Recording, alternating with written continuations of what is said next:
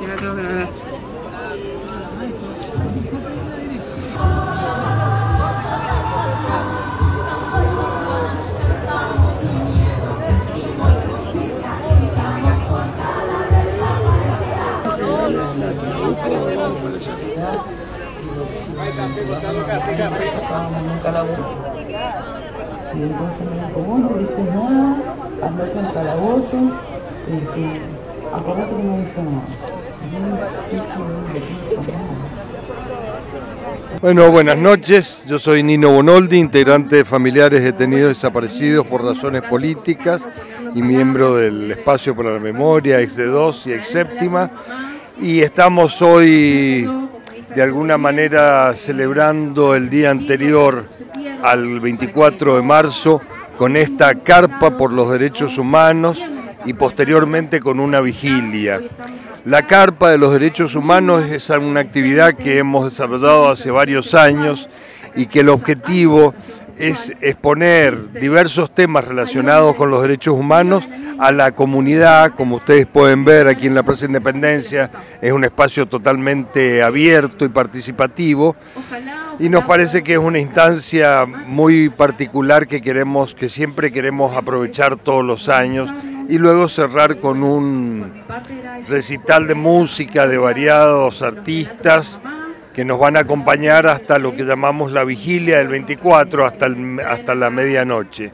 Así que bueno, lo celebramos con muchas ganas, con mucha fuerza y más en este año con la consigna Nunca más es ahora, que es reivindicar aquel nunca más de tantos años por todos los derechos que estamos perdiendo los derechos a la salud, a la educación, a la alimentación y las manifestaciones de violencia que estamos viviendo. Así que hoy más que nunca, nunca más es ahora, y aprovecho para recordarles que tanto hoy como mañana en la marcha y en el acto estamos recibiendo alimentos para los comedores comunitarios, así que les pedimos que por favor participen con todo lo que puedan comunicar, que va a ser bienvenido para esa cantidad de gente en situación límite. Muchísimas gracias a gente de Giramundo. Para muchos. Desde hace 47 años, la lucha sostenida y colectiva de diferentes agrupaciones y organismos permitieron al día de hoy eh, ser un ejemplo y precedente en todo el mundo a nivel científico, jurídico y social. Como ejemplo de ello, podemos citar que sus seres queridos regresen a casa. El delito perpetrado en el tiempo y hoy un Estado reivindicador y nuevamente responsable. Y aunque nuevamente se intenta oscurecer toda la luz que permitió las 137 verdades, queremos contarles que en todo el país hay personas y núcleos de búsqueda que incansablemente sembraron bueno, como se imaginarán, como todo anda en este momento, con muy pocos recursos para poder dar alimento a los chicos en los merenderos. Tenemos conocidos los merenderos, tenemos los comedores que están sin comida, no están recibiendo nada, hace varios meses que no tenemos para, para dar a los pibes. Funcionan también en los barrios nuestros escuelas de fútbol, centro de educación para adultos, que siempre hacemos un refuerzo de la comida y en este momento no lo estamos teniendo.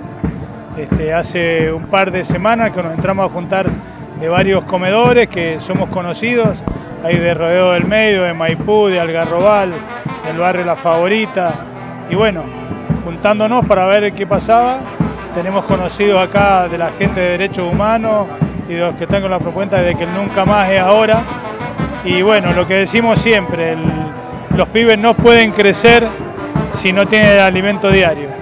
Es imposible que cada huesito de ellos, que su mente, sus afectos, son lo que necesitan todos los días. Entonces necesitamos que los merenderos sigan funcionando, que los padres tengan un buen trabajo también para poder darle los beneficios que ellos tienen que darle. Y bueno, y se nos ocurrió venir ahora a apoyar la marcha del Nunca Más de ahora, porque creemos que la bandera que levantamos nosotros, que es el hambre es un crimen, necesitamos que también sea reconocida que es una deuda que tenemos desde toda la vida con los pibes y las barreras nuestras. Por, ahí contar un poco también de y encontrar con ustedes para colaborar con alimentos. Hemos arrancado con una propuesta, somos en este momento seis merenderos que nos hemos organizado. Eh, le podemos pasar enseguida el QR o el link. Ahí en el link van a encontrar los comedores que en este momento estamos organizados, son muchos más. Hemos anotado a seis. Ahí van a poder sacar en el QR o en el link a dónde pertenecen y por ahí algunos nos han hecho una propuesta de hacer algunos centros más urbanos, cosa que si a alguien le quede pasada puede dejar el alimento ahí. La necesidad urgente son los alimentos no perecederos, hay idea de poder desarrollarlo con los agricultores, con la gente de las carnes, porque bueno, las proteínas están... En... La primera grupalidad es una murga, una murga de estilo porteño. Es de todos lados y bien de Mendoza, llevando alegría por el país y países vecinos, bailando al ritmo del bombo y platillo.